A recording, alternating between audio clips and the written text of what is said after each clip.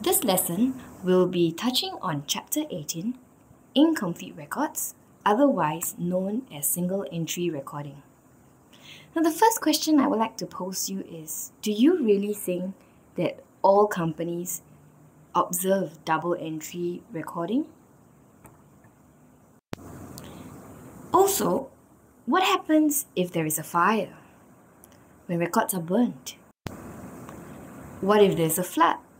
Records are destroyed. Now, to illustrate a point, a couple of years back, I did this comic strip on one of the students, Boaz. Here is the story anyway. Boaz Bomani.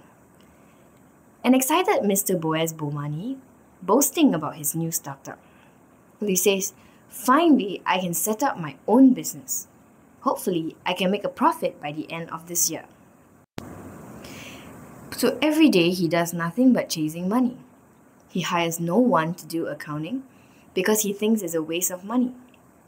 And if you know this song by ABBA, it goes money, money, money, come and find me in a rich man's world. And he thinks he is Superman. He can handle all things by himself. Now soon his accounts started piling up and he is losing track of his accounts. Then it was time to file his income tax. Lo and behold, he doesn't have a lot of figures to draw up his profit and loss statements. I should have known better, me. Super zombified now, rushing day and night to source for all possible documents. Because at the end of the day, you still need to report to the government. You need your profit figure. Now, what did he not observe? As you would have observed by now, he didn't observe the double entry rules. Now, so what happens in cases as such? Now, if you heard what I said earlier, there is still a need to ascertain your net profit because you need to account to your stakeholders. And also, besides the net profit, you need to know the financial position of your business. Okay, and that is really your balance sheet. So, what do we do now? Introducing this chapter Incomplete Records. There are two methods, okay, to ident- uh, to for this for this purpose. The first being capital comparison method, and the second, analysis of records methods. Whichever method you use really depends on the information given, and you can only use one of the methods in a question. You can't it, it can't be a question that you can use both methods. It's just pertaining to that question, there is only one method. So I will want to talk about capital comparison method first. Think balance sheet when you think about capital comparison method. And to be more specific, I like you to think the owner's equity section of the balance sheet. Let me refresh you with a balance sheet, an extract of a balance sheet. We mentioned earlier our objectives to find net profit and to ascertain the financial position of the business, which is your balance sheet. And you need to do this simply because you need to account to your stakeholders. Closing capital is equals to opening capital plus net profit plus additional capital less your drawings, as it is seen very clearly from your balance sheet. Now, what did we say we want to find? Net profit. Switch them around. Simple math will tell you net profit equals to closing capital plus drawings less opening capital less additional capital. So there are four key information needed to find net profit. And here are the four. But are they just gonna give you closing capital, drawings, opening capital, additional capital, just the figures and get you to find net profit? I really doubt so because that would be way too easy. So, in order to increase the challenge, typically they will give you the assets and the liabilities at the end of the year, the assets and the liabilities at the start of the year, because you need to know, or you should know by now, that Capital is derived from taking assets minus liabilities. And to further increase the challenge, they will usually do something here to the closing capital by getting you to do adjustments to the assets and liabilities at the end of the year. Only the end of the year. Usually, the start of the year is not touched. Only the end of the year. Okay, I would now like to illustrate uh, with an example.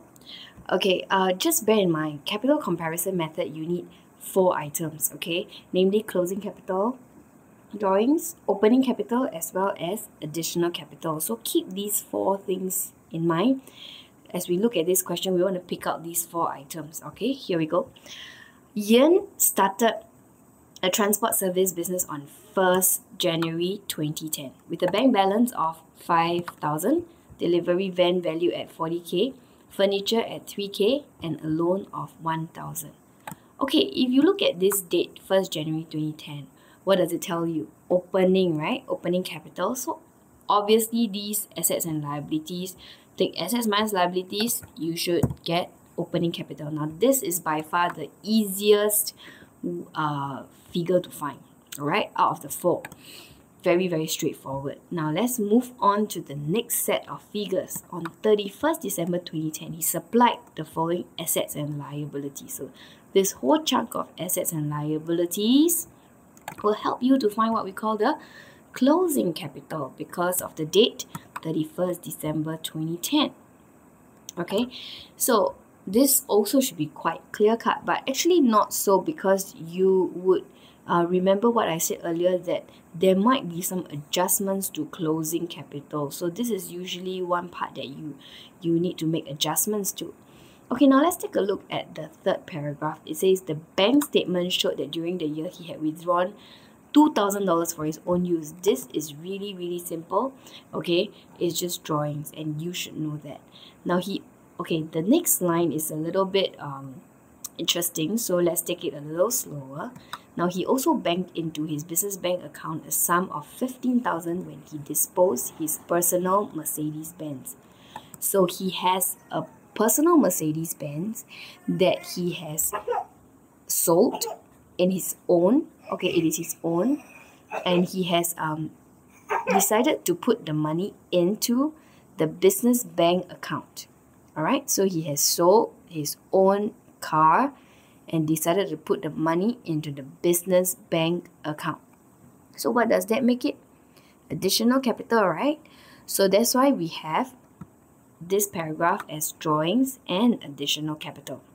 All right. So far, I hope it's quite clear. So we're going to move on to the fourth paragraph, which is by far the, the most difficult paragraph of this whole question. Okay, because if you recall earlier, I said that there will be some information that will affect closing capital. But in this case, right, not only will it affect the closing capital, it will also affect the additional capital. Okay, the additional capital. Let's take the, the, the paragraph, uh, let's take a look at the paragraph right now.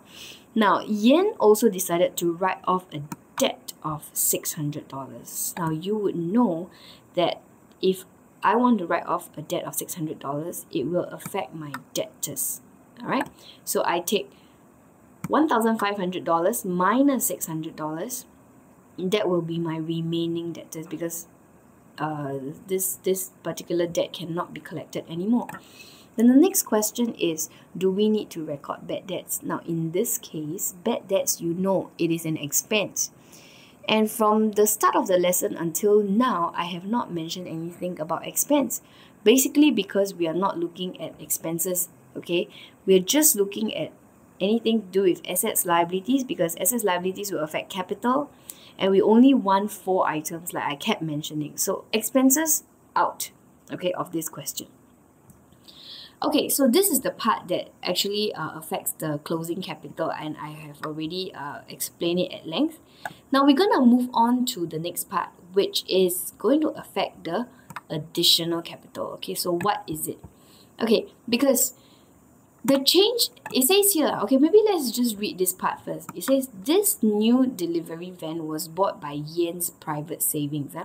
So apparently uh, Yen, the owner, okay, bought a new delivery van using her private savings. So isn't this additional capital? Okay, so this whole entire information is on additional capital.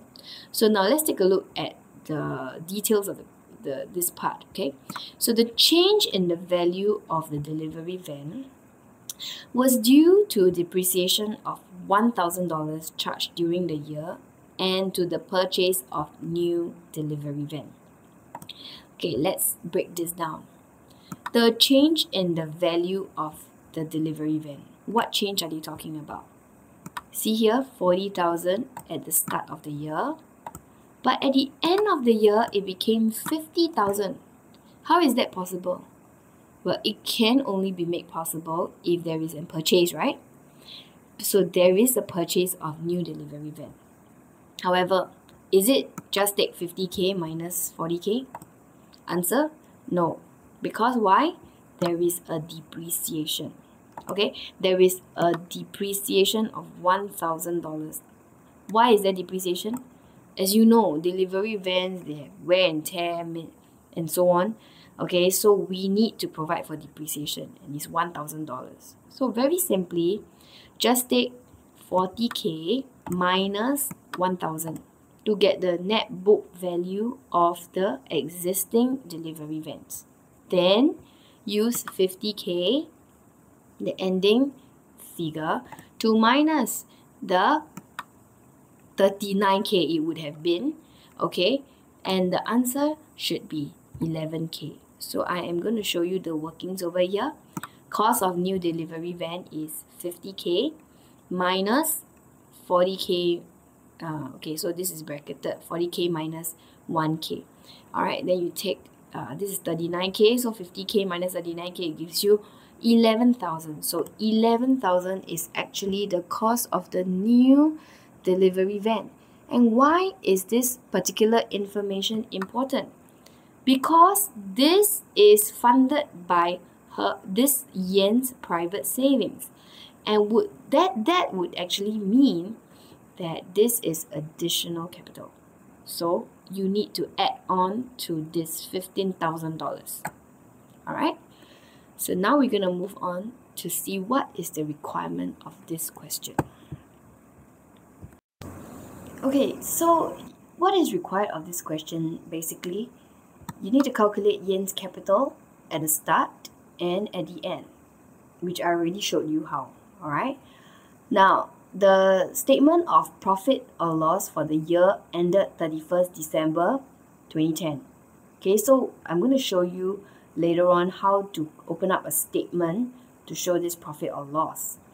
And lastly, a statement of affairs showing the financial position of the business as at 31st December 2010. Now, this uh, statement of affairs should look new to you, okay? But actually, you have been preparing this statement of affairs. Uh, what is it known as or what is it otherwise known as is really your balance sheet. Okay, so statement of affairs basically means balance sheet. Okay, so uh, let, let's take a look at the answers. Question 1a asks you for the capital at the beginning. So capital at the beginning, I've already mentioned earlier, it's quite simple. So just take bank plus delivery van, furniture, and then minus the loan. Okay, so that's at the start, first Jan. So you get 47k. Now, at the end of the year, um, I also noted that there is a bad debt of uh, $600 which you subtract from the debtors and then the rest is just assets less liabilities to get 73500 Okay, so for part B, you are required to find the statement of profit or loss for the year ended now, if you recall earlier, my colorful bubbles, how to find net profit, okay, four key things. We have closing capital plus drawings, less opening capital and less additional capital. And we're going to put this inside a statement. Okay, so we start with capital at the end, closing capital it's called.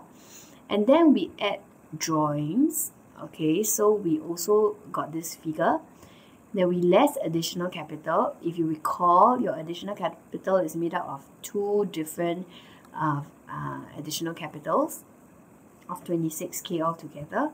and then you also less your opening capital which is otherwise known as capital at the beginning $47,000 and then you subtract from here and you would get a net profit of 2500 2500 now that you have already found your profit you have already completed objective 1 so the next part is you are supposed to do the statement of affairs. Statement of affairs, like I mentioned earlier, is your balance sheet. So if you look at it, it's really nothing very difficult. You have done this many, many times. Put your assets in here and your liabilities in here, your new closing capital in here. All right, and you're done. Okay, so just uh, take particular attention, pay particular attention to your debtors. This is one adjustment that you have made earlier. It was a thousand five adjusted downwards because of the bad debts of 600 so you are left with 900 and then also uh, another question that you may ask is do I just show the closing capital can I show the whole entire owner's equity section uh, which includes your opening capital drawings additional capital net profit the answer is uh, you don't have to uh, because you have already done so in part B your profit and loss statement. Uh, but if you want to show the whole entire owner's equity section that's fine too. Okay but uh, you have the option of not showing it because uh, you have already done it in part B. So just write closing capital here and 73,500 that is good enough. So you have uh, successfully done uh, and completed two objectives finding capital sorry, I beg your pardon, finding the profit as well as to come up with the statement of affairs or your balance sheet to determine the financial position of the business. Some common mistakes to this sort of questions. If you look at the boxed paragraph, it says the bank statement showed that during the year he had withdrawn $2,000 for his own use. Earlier on, I only mentioned that this will affect drawings. So the question that you might have in your head would be, do I need to subtract this $2,000 from the bank, $9,000? Because I have withdrawn, right? The answer is no. Okay, and I will tell you in a bit because it brings me to my next uh, part as well. He also banked into his business bank account a sum of 15,000 when he disposed his personal Mercedes Benz. So there's money coming in, right? So the question is besides additional capital that I need to recognize, do I need to put this 15,000 into the cash at bank account? Again, the answer is no. Okay, what is the basis that we say no? Now, I like you to think of this as remember, this is incomplete records. So, where would I have gotten this cash at bank figure? probably from the bank, the bank statement, right, that I receive. So because it is incomplete records, I would probably get the bank statement from the bank, you know, at the end of the month, and that's this is my latest figure. Would you then now agree with me that since this is the latest figure, I would have already, you know, uh, the bank would have already done this part for me, taken out the two thousand dollars.